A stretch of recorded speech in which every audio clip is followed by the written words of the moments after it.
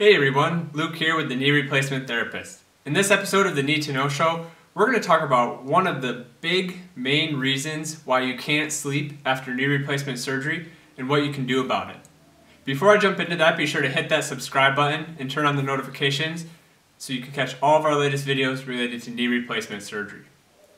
So, when it comes to sleeping after knee replacement surgery and insomnia and just difficulty falling asleep, difficulty staying asleep. There's a lot of different reasons. There's the pain, there's the stiffness, discomfort, swelling. Um, all those things, of course, play an important role. But I want to talk about something that's not physical, not um, doesn't have to do with the actual knee itself, and it's probably one of the biggest reasons why you're kind of caught in this trap of not being able to fall asleep. Um, and it's you know it, kind of feeds into making all those other things worse and worse. And that's the psychological or the mental component. And what i mean by this is when you're sitting there or laying there trying to fall asleep you have all this pain you have all this stiffness discomfort you start to build up anxiety worry frustration a feeling of hopelessness a feeling of just general upsetness um, depression all of these psychological and mental complications, I guess we can call them. And it's it's common, it's normal. Of course you are. I mean, you're laying there, you have no distractions, you have nothing to think about. So all your mind is focusing on is not being able to sleep. I'm laying here, I want to fall asleep, I can't fall asleep, I have pain, I have discomfort. This is awful, this is terrible. I'm never going to be able to fall asleep what can I do? And your brain basically just, your brain won't shut off. You know, it's just highlighting and just increasing that pain and that discomfort. And you start to, over time, you start to have a negative association with laying down in bed or in your recliner or whatever that may be because you start to make that association between laying down and being in discomfort, being in pain, having anxiety, having frustration, and it's just this really negative kind of domino effect or chain of events or a, a, vicious cycle, whatever you want to think of it as, it just feeds into itself negatively. It makes it harder and harder for you to fall asleep. And so, probably some of you out there are saying, well, yeah, I got that already. I know that. What can I do about it? Well, my recommendation and this is, you know, not a professional recommendation. I'm not a psychologist, I'm not a sleep expert, anything like that.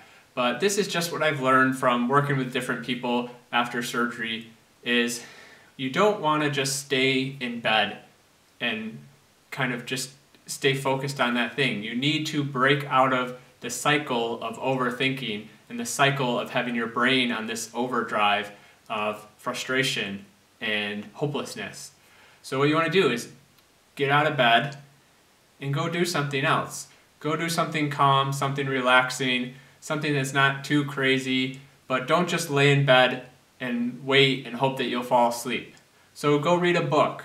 Maybe go do some journaling. Maybe go for a short walk around the house or, on the block if you can. Maybe do some stretching or some light exercises or range of motion exercises. Maybe do some meditation if that's something you're into and enjoy. Or maybe just some prayer if that's something that um, you would like to do as well. Something that is going to take your mind off of the difficulty of sleeping. One thing that I heard about that I think is a really cool strategy is called just a brain dump. And basically, it's you get out a piece of paper or a journal or whatever, something to write with, and just write things down. Write down your worries, write down your anxieties, write down what's on your mind, um, you know, what's keeping you up.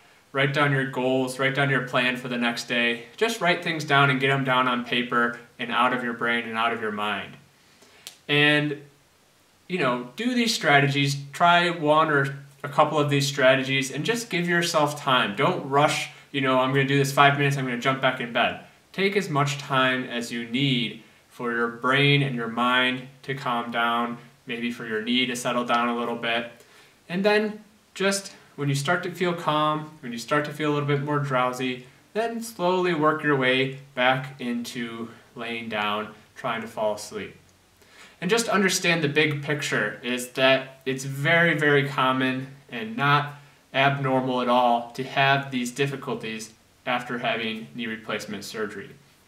Most people, over a few weeks, it starts to get better and better, and they start to sleep a little more, a little more over time, and eventually, within a few weeks, maybe for some folks a little bit longer, you're back to sleeping relatively normal again. So give it time, kind of see through this process, and maybe use some of these strategies that I talked about to help alleviate and try to break up that, that vicious cycle of overthinking it, of keeping yourself up at night, and having difficulty falling asleep. So I hope you found this video helpful. Please, if you give it a try, let me know how it goes. Let me know if you found this beneficial, these strategies. If you have questions or comments, leave them below. I always appreciate them and do my best to respond to them. And always be sure to hit that like button so you can spread this video out to other viewers. Thank you very much for watching.